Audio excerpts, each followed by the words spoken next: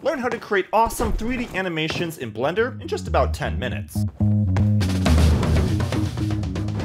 Starting by Picking your character. You'll need a character that's rigged and ready for animation, so you can head to the Blender Studio website, there'll be a link in the description, and they have a good collection of characters that are professionally modeled and rigged from the open source movies, and a lot of these are available to download for free. Jay here is the one that I'll be using, so go ahead and click on that and click download, but also you could use a character like Rain, I've used that rig before and it's also great, or Spring, another character from an open source movie that also has a really elaborate rig and is ready for animation. You can go ahead and download any of these models of your choice, open them up in Blender and start playing around with them. Then you're probably going to want some movement reference to animate to. So obviously you could just film this yourself, but if you're too lazy to do that or want to animate something that was pretty cool, there's some great reference available on YouTube. For example, I'll use this video, which is 60 basic gymnast tricks that are filmed in slow motion, so it's great for referencing all those in-between frames. The trick from this animation that I'll be referencing for this specific animation is the B-twist shuriken. Shuriken? Shuriken. Shuriken. B-twist shuriken at about approximately 225 in this video. Another great video to draw reference from for your animations is 50 types of walks. There's uh, some pretty good ones that you can choose here from if you're looking for some simpler animations that aren't as tricksy as the one we're going to do right now. I'll link the videos in the description. So with your character of choice opened in Blender, it's important to get comfortable with the rig and just kind of mess around with all the bones and determine which ones you'll need for your animation. And the other bones that you don't really need to touch are better off to hide. Oftentimes these bones are broken down into different layers that you could just hide as well in your armature settings. So switching to pose mode, we're ready to start animating our J character here. And for starters, we're going to check the automatic keyframe insertion button so we can automatically have keyframes added every time we move a bone without having to press I on the keyboard to manually insert a keyframe. Then we're going to grab all the important bones for the animation here. That is the main torso bone, the hip bone, the IK hands and foot bones the shoulder bone, and then also grab the tracking points for the knees and elbows. Those are those little triangular bones. And that'll be all the bones that we need to focus on for this animation. With all those selected, we're also going to hit the period key and switch to median point instead of individual origins for the rotation. Then we can go ahead and rotate these along the Z axis. Quickly checking our reference video, which is going to be important, we can find our first pose here. And keeping the video open on a separate screen or a tab that you can quickly reference is going to be important. Prefer to just reference the video instead of copying it directly. You get less stylistic animation doing that ways, and it almost looks a little bit more like motion capture, if that makes sense. But we can see that we're supposed to start with our arms widespread and jumping off of the right foot. And just by grabbing the IK foot controllers and hip bone, we're gonna start blocking out this first pose. So using the hip bone, pulling it down a bit, and then grabbing the foot controllers, rotating with the R key, and then double tapping R to spin it in the right rotation. We'll grab the torso to rotate the back down into the right position, grabbing both the left and right hand controllers to get them spread in the right arm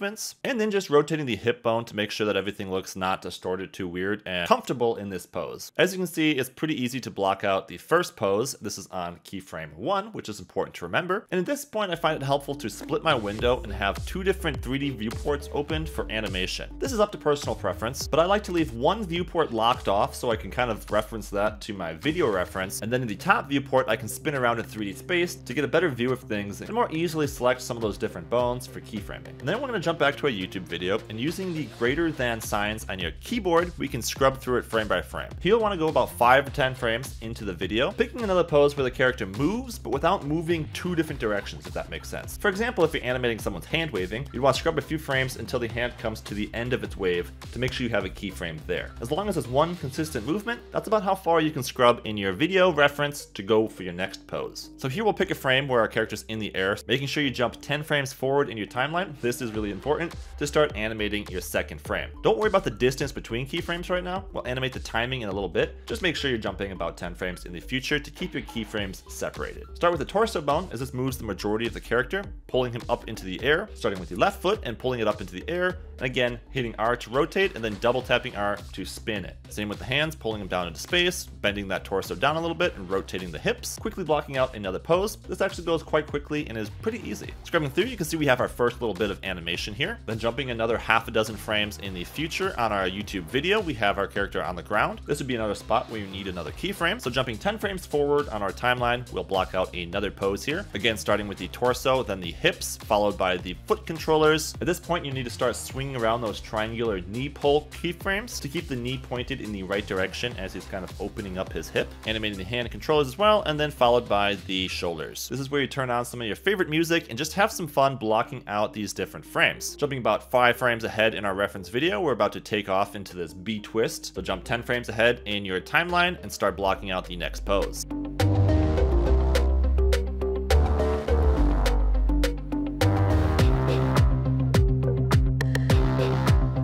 Again, using those elbow and knee pointers to make sure that the rotation on the shoulder is staying right by pulling them around in front for the knees and in back for the elbows.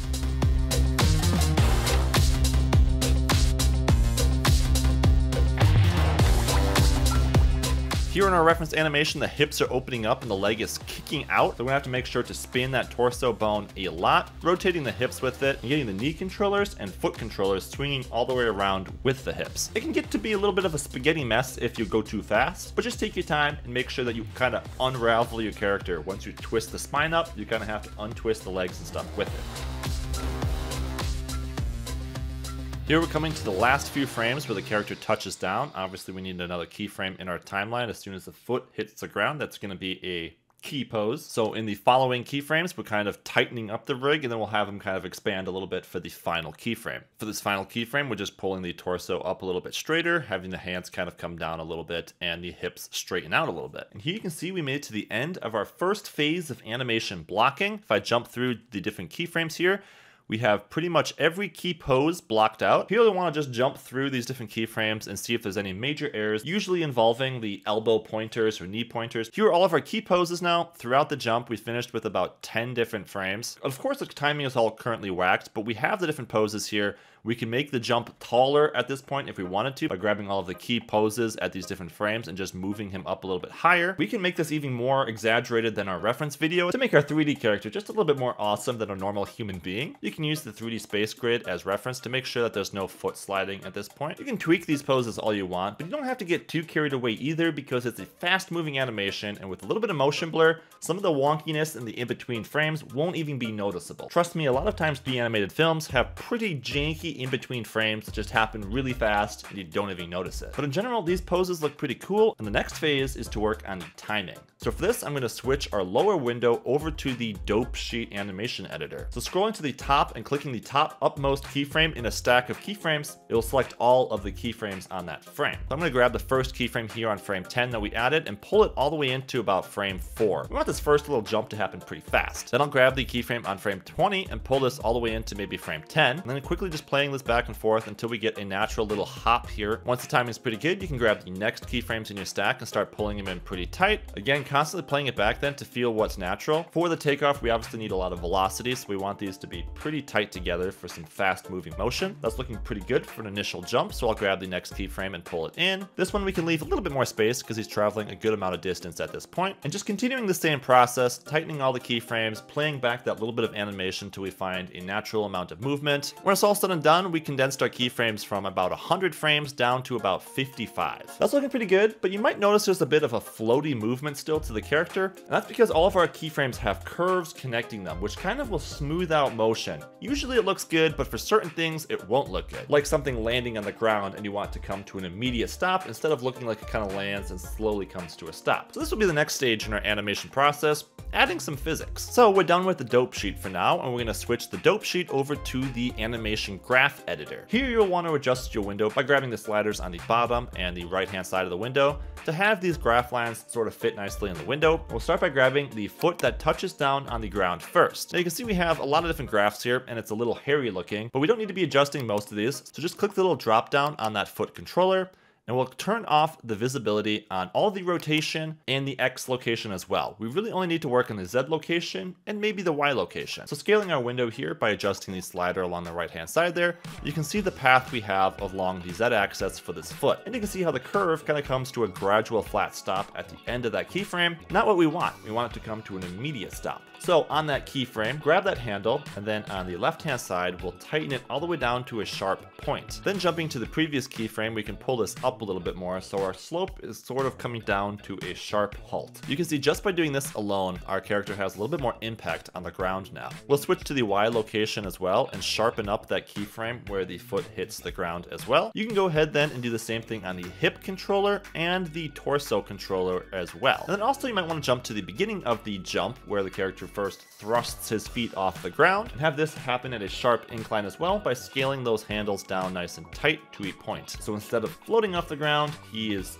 forcefully leaving the ground, if that makes sense. These little bit of physics adjustments add quite a bit to the final animation. But once you're happy with your timing and your pacing, you're basically finished. Just enable some motion blur in the render settings and start playing back the animation in your timeline. That's looking pretty cool, and this is actually a fairly complex animation. Basically, an animation is never really finished, at one point you just decide to stop tweaking it. But this animation in total took less than an hour to put together, and as you can see, it's looking pretty cool. If you do create something cool, upload it on the internet and tag CG Geek because I love to see what you guys create. But that'll do it for me guys, this has been a lot of fun. Leave a like if you enjoyed the video, and keep on animating. I'll see you in a future video. Bye bye!